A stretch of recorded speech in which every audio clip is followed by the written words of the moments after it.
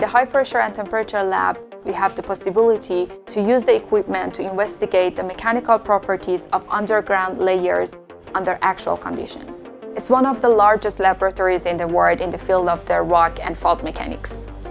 This lab is very important because there's conditions inside the earth with very high pressures and high temperatures. In this lab we can recreate these conditions and we can actually measure and, and observe how materials behave under these conditions. We need the underground for the energy transition. Controlling the carbon dioxide emission is very important and one of the key technologies is capturing that and storing that uh, in the subsurface layers.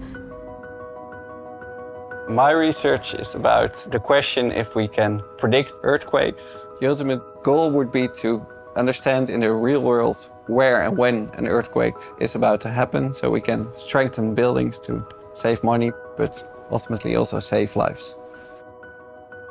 By having the equipment here, we can apply the same conditions on the smaller samples with the same material to see how they react and then trying to translate that to how, in the real case, in the bigger scales, they can react.